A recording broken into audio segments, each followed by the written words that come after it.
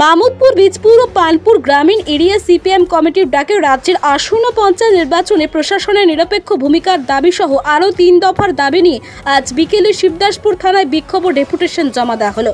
এই উক্ত বিক্ষোভ কর্মসূচিতে উপস্থিত ছিলেন সিপিএম নেত্রী গার্গী চ্যাটার্জি সহ অন্যান্য নেতৃত্বরা।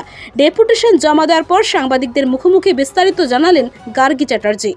শান্তি বাহিনী নিরাপক্ষভাবে ভূমিকা পালন করবে আর যদি মনে করেন এই তৃণমূলের উদ্ধি করে, এই পুলিশের উদ্ধি করে তৃণমূলের মতো ভূমিকা পালন করবে তাহলে মানুষকে সঙ্গে নিয়ে আমরা রাস্তায় নামতে বাধ্য হব। হ্যালো? তাই আপনাদের কাছে একান্ত অনুরোধ যে যেভাবে মানুষ করে অটোমেটিক আমাদের মানবপুর সিদ্ধার্থপুর থেকে শুরু করে যেভাবে আমাদের ভর্তি চলছে, আপনারা দেখুন, আমাদের কোনো অসুবিধা হলে আপনাদের কাছে আমরা জানাব।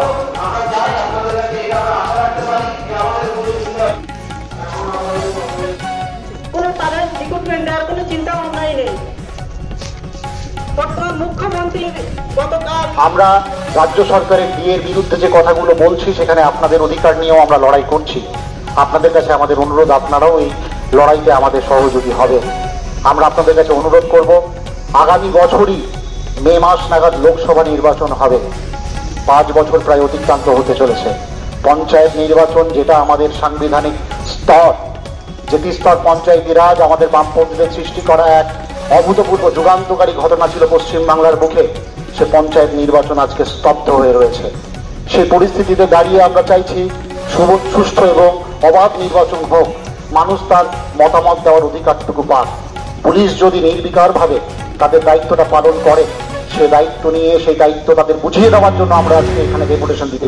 মূলত পঞ্চায়েত ধরা যায় যে গোটা নিয়ে আমাদের রাজ্যের সরকার পঞ্চায়েত নির্বাচনকে প্রহসনে পরিণত করতে চাইছে। এখনও ডেট ঘোষণা করল না। আর পুলিশ বাড়ি বাড়ি গিয়ে তৃণমূলের প্রার্থী খোঁজার কাজ করছে। আর আমাদের লোকেদের কাছ থেকে খোঁজ নিচ্ছে, আমাদের কারা প্রার্থী হচ্ছে। আর জায়গায় জায়গায় আপনারাও দেখেছেন যে তৃণমূল ছেড়ে লোকে লাল ঝান্ডা ধরছে। পুলিশ তাদের খোঁজ নিচ্ছে কেন তারা লাল ঝান্ডা ধরবে? এবং তারা যদি তৃণমূলের ঝান্ডা ধরে আবার তার ব্যবস্থা করছে। মানে পুলিশের এখন আইন শৃঙ্খলা রক্ষা করা কাজ না পুলিশের এখন তৃণমূল কংগ্রেসকে প্রোটেকশন দেওয়া কাজ আর তৃণমূল কংগ্রেসকে প্রার্থী খোঁজা কাজ। আমরা এটাই বলতে এসেছিলাম যেটা তেরো বা আঠেরো না এটা তেইশ এবারে পঞ্চায়েত নির্বাচন এসব করা যাবে না এবং পঞ্চায়েত নির্বাচন ফ্রি অ্যান্ড ফেয়ার করার জন্য পুলিশকে ব্যবস্থা করতে পঞ্চায়েত নির্বাচন ফ্রি অ্যান্ড ফেয়ারের কথা বলছেন আর এখানে নবজোয়ান নিয়ে রাজ্য বা পুরো তোলপাড়। পঞ্চায়েতের নির্বাচন নবজোয়ার ফ্লপ পঞ্চায়েত নির্বাচন কবে হবে সে নিয়ে কিন্তু উঠছে প্রশ্ন। করবে প্রশ্ন? ও তো হেরে যাবে বলে পঞ্চায়েত নির্বাচন করতে ভয় পাচ্ছে। নবজোয়ার ফ্লপ হয়ে গেছে।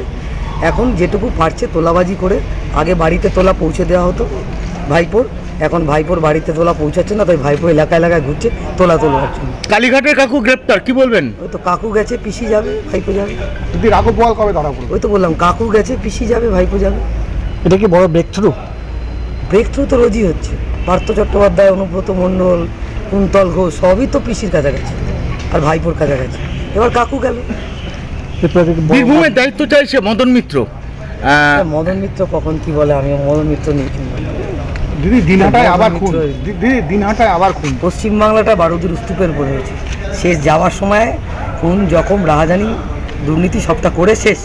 এবার বিসর্জন হবে বিসর্জন। ভাটপাড়া কিন্তু আবার উত্তপ্ত হতে চলেছে। গতকাল তোলা এক লক্ষ টাকা তোলা নিয়ে বাড়ি ভাঙচুর। জগদ্দল জগদ্দলে বাড়ি ভাঙচুর হয়েছে। এক লক্ষ টাকা তোলা চাওয়া হয়েছে। জগদ্দল থানা এফআইআর নেয়নি। আমরা জগদ্দল থানার কাছে যাব এফআইআর নেওয়ার জন্য। এবং বলেছি যে এই থানার ভদ্রলোকের এফআইআর নিতে হবে। তো বললাম শেষে যতটুকু তোলা তোলা যায়। মানে দীঘা যাবে কাউন্সিলর। তার জন্য টাকা চাইছে লোকের থেকে। এর নতুন রূপে সেজে উঠেছে নাইস পার্ক।